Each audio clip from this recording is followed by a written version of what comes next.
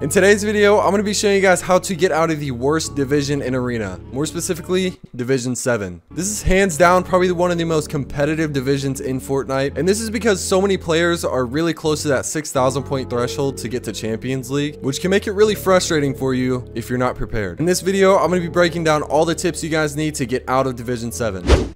Now I know for my last arena video, it was more focused on how to stop losing arena points, but I felt like for Division 7, I felt like I needed to make it its own video because it's such a different and more diverse division than really any other division in arena. So my first tip I have for you guys to get out of Division 7 is to stop trying to copy your favorite players. Now I know how fun and easy it looks when you're watching your favorite pro players stream to just go land Stark and W key everyone you see. And I've been hit with the harsh reality many times that I can't just go W key everyone I see at Stark. Once I got into these higher divisions like Division 7 and Champion League. And this is because the reason we watch pro players is simply because they are better than us. And a lot of us like to watch them to learn from them. And while that is a great thing and you should always do that, think of the analogy like a teacher teaching a classroom. If you're learning a subject, you can't just go up and teach the class right after you learn it. It honestly takes a lot of practice and think of practice like going to college to become a teacher, meaning you have to put a lot of time and dedication in to get this good. And there are a lot of different ways to practice to get better at arena, like learning how to take your fights and which fights to take. But all these practice situations take a lot of time and dedication. And don't worry, if you don't have the time of day to practice a crazy amount, you really don't have to be a pro player to get into Champions League. But if you're really looking to take your gameplay to the next level, there is a lot of hard work and dedication that come into it.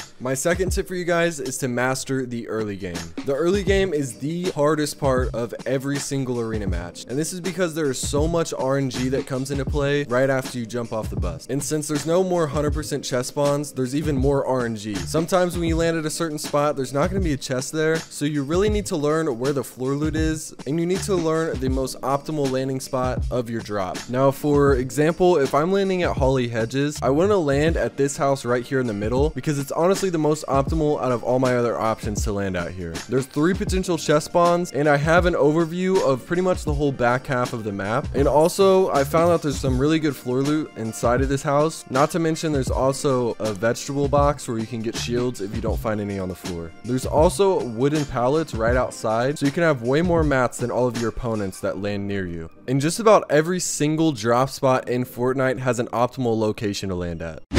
Okay, so my third tip for you guys is to do realistic 1v1s to practice for mid-game. Mid-game fights can be very frustrating if you don't know how to do them, but luckily there are a bunch of realistic 1v1 fight maps to help you, and they simulate an arena mid-game fight very, very well. Because not only does it put you in actual locations on the Fortnite map, but you also have a random loadout each time that you start a match. And it's also great because right after you die, you hop right into another round to go back at it again. And if you're a loser like me and have no friends, you can go into a Discord server to find someone to realistic 1v1 with. East Open is a really good one, and I also have my own server as well. And a lot of my subscribers are always looking for people to play with. Realistic 1v1s are a great way to practice because it teaches you how to use and conserve your mats. And it also teaches you how to practice certain mechanics that you've been learning, such as piece control and box fights. It also teaches you how to gain confidence because when you're in game and someone's rushing you, it can be very intimidating if you don't know what to do. I used to hate playing realistic 1v1s when people first started playing them because it was uncomfortable for me, but ever since I started playing them, I feel like I've gained a lot more game sense and understanding of the game. In the long run, it's worth it to play about 30 minutes of realistic 1v1s every day.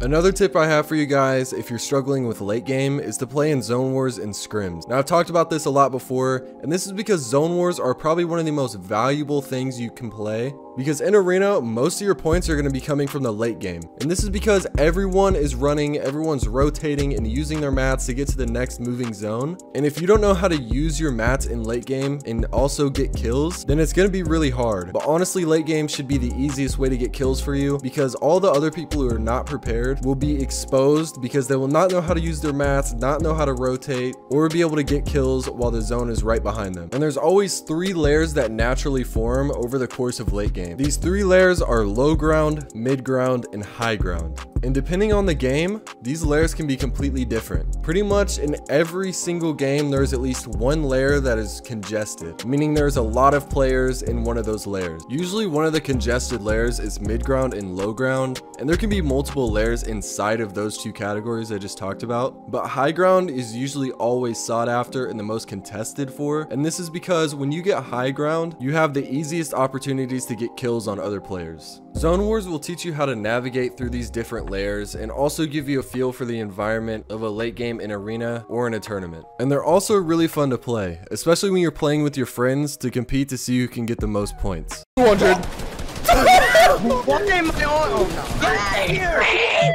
And honestly, the best way to find a Zone Wars match is to just go into the creative fill. There's always multiple types of Zone Wars maps in the creative hub. And it also makes it a little bit more challenging because you don't know the opponents you're going up against.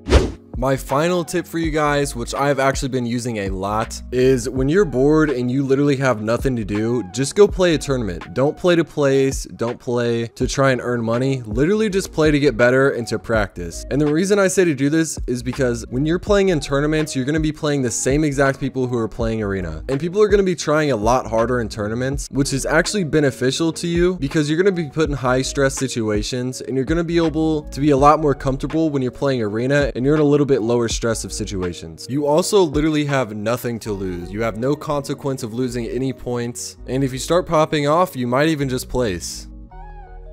Thank you guys for stopping by and watching today's video all the way until the end. And also be sure you guys smash that sub button down below, join the Sub-Zeros, as I am going to be dropping a lot of content here very soon with how to get better and a bunch more stuff as well. Thank you guys for watching. I'll catch you guys in the next one. Peace.